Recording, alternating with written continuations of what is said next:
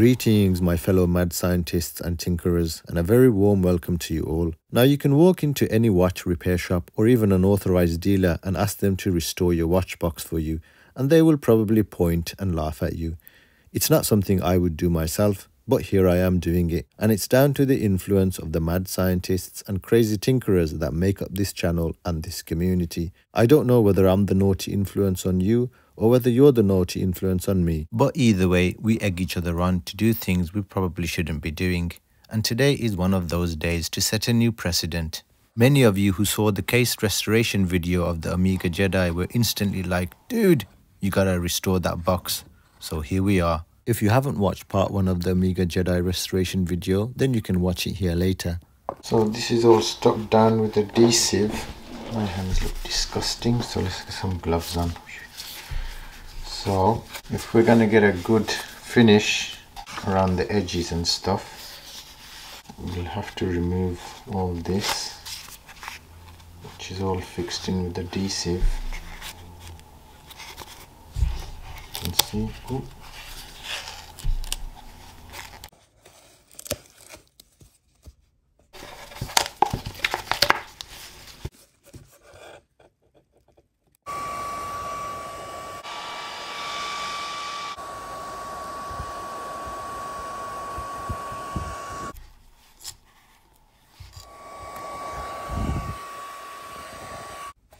got a little bit impatient there.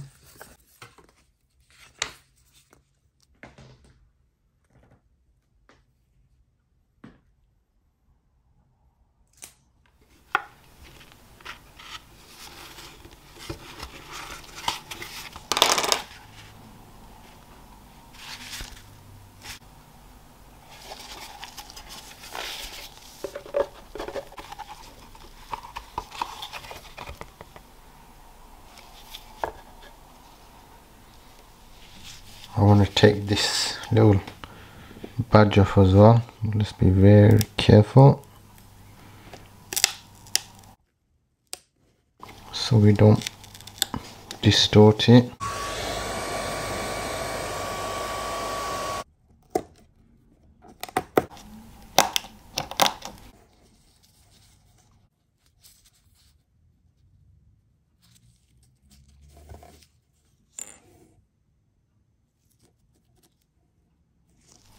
There's all our bits and bobs there. So I have many modern Omega boxes in stock which have this fake leather feel, but this one seems to be just fabric with leather paint on it, which leads me to believe that it may be one of the first iterations of the famous Omega Scarlet type box. And they do have a more faux leather feel about them. There's another one here. And this one seems like it does have a coating on it rather than fabric like our one. Okay, so the first thing I want to do is get all this hoovered up before I spray anything on it and have those marks embed themselves even further. And then we can give it a little spray down. Otherwise that red dye is gonna turn it all pink.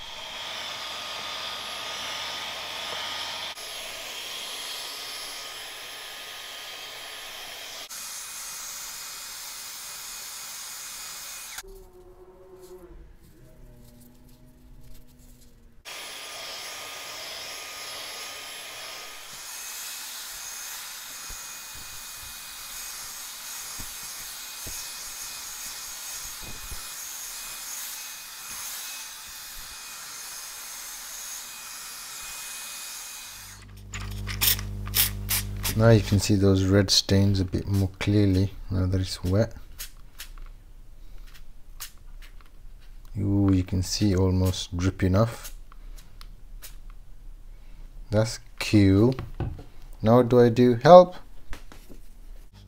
Now remember the inside of this is just cardboard so you don't normally with the stain removers you'd leave it on to penetrate but we don't want it to get into the card and start wetting up the card so I've just let it sprayed it and then wiped it all off. Oh yeah.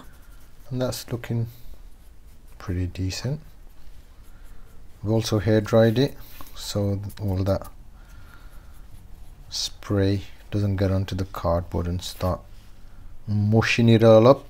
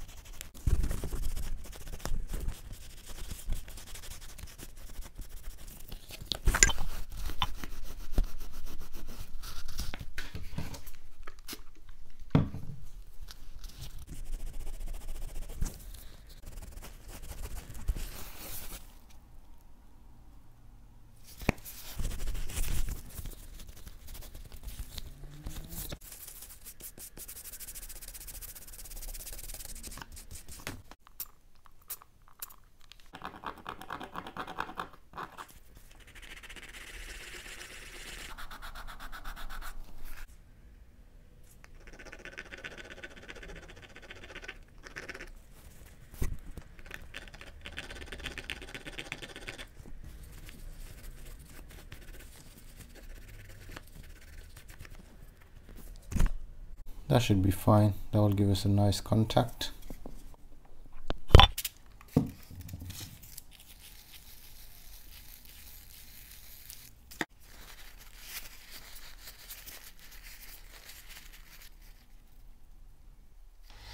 So as you guys can see it's basically fabric. There isn't any base coat or anything like a filler or anything on there.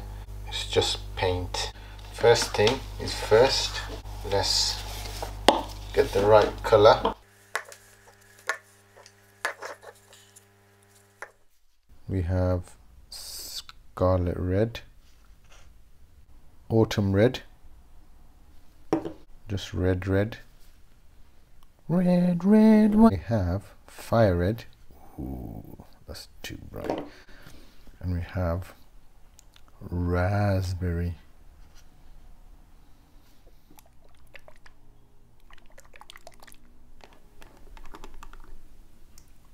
Ooh, lovely jubbly.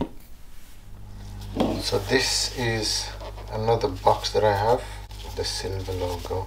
But you can see the color and this is a modern Omega service pouch that they send your watch back in. So you can see there's a big color difference between this really old one. The raspberry, that's definitely known can get rid of that one.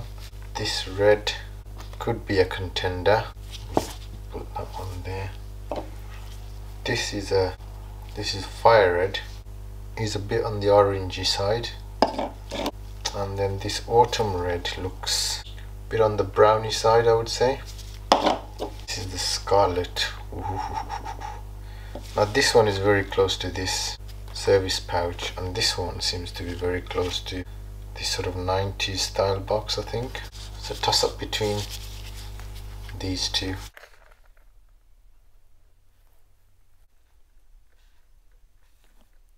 Now to remove all this paint I could use some sandpaper. But I don't want to damage the fabric underneath so I probably could remove this with a little sponge. So I've just got a little bit of packaging material here just a bit of foam that comes with the packaging boxes. And that's not that abrasive. I think I'll wet it a little bit. See what happens.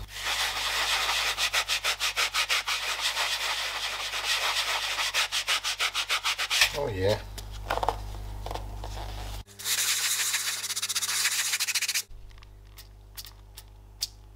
working much better with a bit of spray.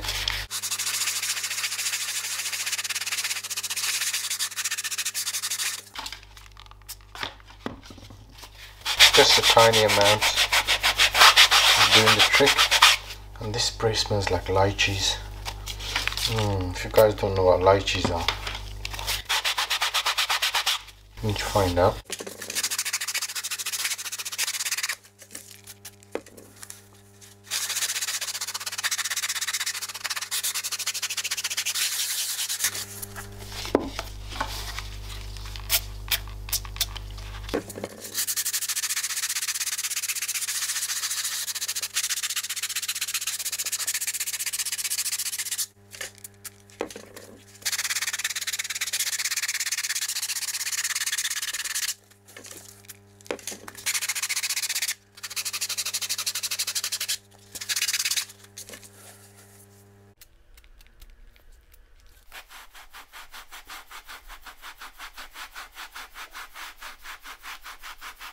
So at the difference so far.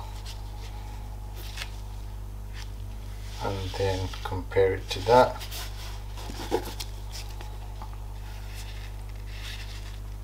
We've got a bit of a way to go.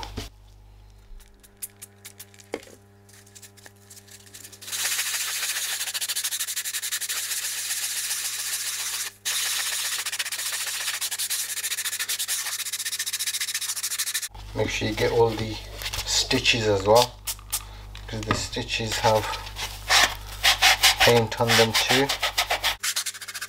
But that's how it's looking so far. And now we'll do a bit of repair work sort of things like this which needs a little bit of glue.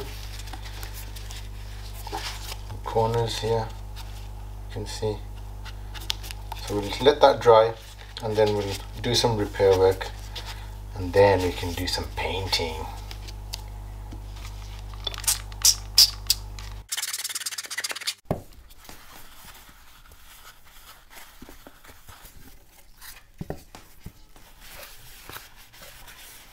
You can see all the old glue.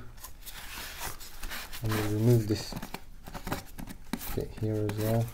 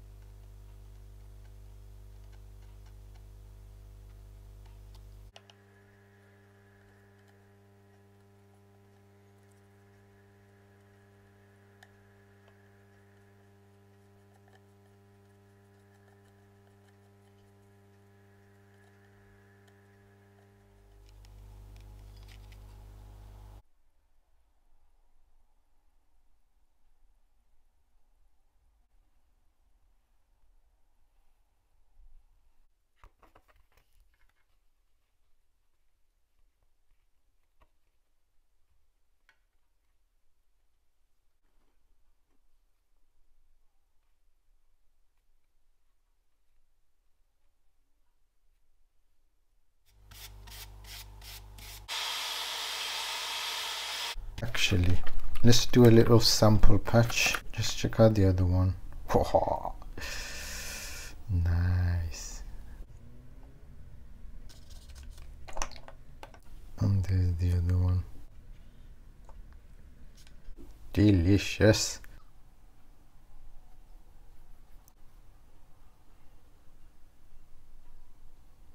Oh now that looks pretty dark doesn't it and that color looks like it's just in between those two. So I've put some of the red on top of that scarlet. You can see there's a slight variation in the tone. So I think do the base coat in scarlet and then we'll do a top coat with the red. Now this farty little nail brush isn't going to do the trick. So what I'm going to do is pour this into a little dish. Let's do this try sponge first. Okay so we're just to get a, couple of light coats on rather than one thick coat. So that's what happens with the sponge. And let's try the brush. Oh yeah I like the brush. Let's use the brush. Oh, and so I'm doing the bottom first. Oh that looks nice. Lovely.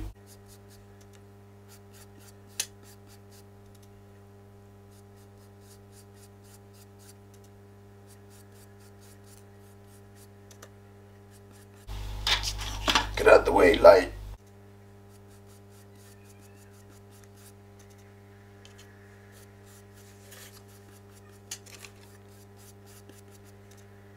I'm trying to fix and relocate equipment at the same time.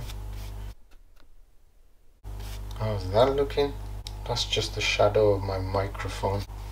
You can see that little red spot shining through. Cheeky little bugger. So we'll just let that dry and then I'll do the top Friday's takeaway night so hopefully it should be dry by the time that's all been woofed down so I'll see you in a bit it's flattened down all that fluff and bonded it all together. So now I'll just finish the rest. I think I'll do that with the lid open so I can get these bits as well.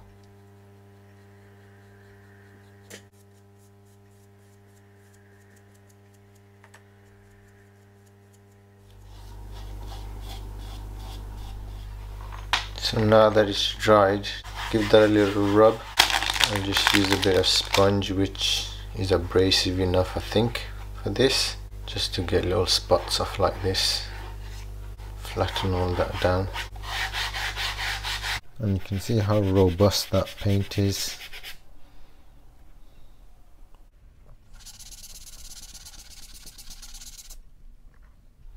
So what are we gonna do about this color?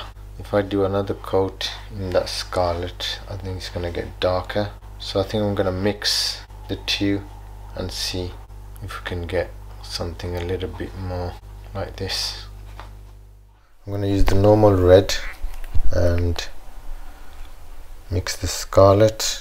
Oh look at that.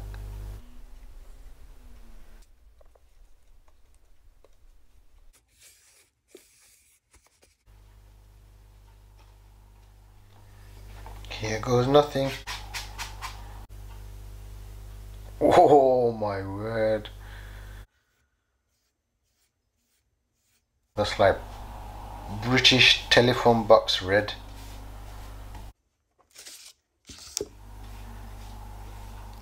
So I've left it dry for about a day and as you can see the paint has glued all those loose fibers but we can see a little bit of grittiness so what I'm going to do is I'm going to smoothen all that down before I give it a final coat. And there's not that much paint on the sandpaper. So this paint is very durable.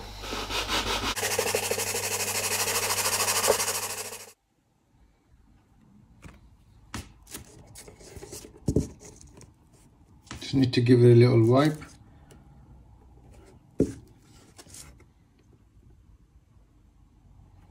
oh, we flattened all those hardened fibers down. And I'll give it a wipe down.